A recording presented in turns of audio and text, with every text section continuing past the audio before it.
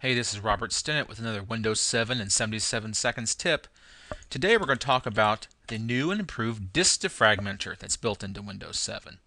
Uh, a lot of times people sort of forget that it's a good idea to defragment your disks every now and then. Uh, if you want to think of it in uh, simple terms, think of a box full of red, green, and blue popsicle sticks. Um, and I ask you to pull out all the blue ones. Now, if you have to dig through that whole box and find all the blue ones, it takes a while versus if all the blue ones were conveniently bundled together. And that's just what the disk defragmenter does. In Windows 7, they had a small improvement over Windows Vista.